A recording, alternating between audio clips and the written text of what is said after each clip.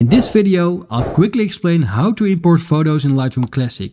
And by the end, you'll know exactly how to get your image into the program and ready for editing. And if you're still confused about importing photos, ask me in the comments or become a member of my channel so I can help you one-on-one. -on -one. The first step is to open Lightroom and click on the import button in the bottom left corner of the screen. This will open the import dialog box. From here, you need to choose your photo source. This could be your camera's memory card, an external hard drive or a folder on your computer. But here's a tip. Make sure your files are organized into folders before importing.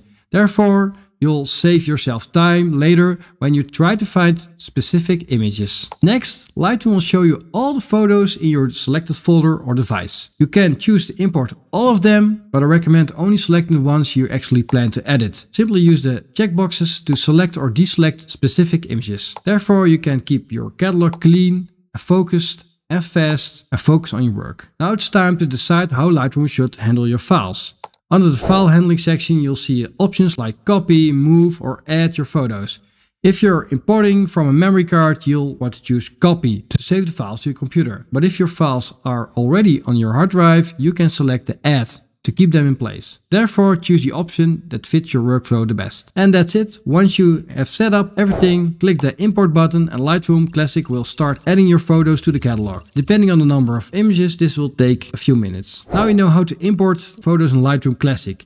If you found this video helpful, please like, subscribe and let me know in the comments what Lightroom tips you want to see next. Thanks for watching and I'll see you in my next video.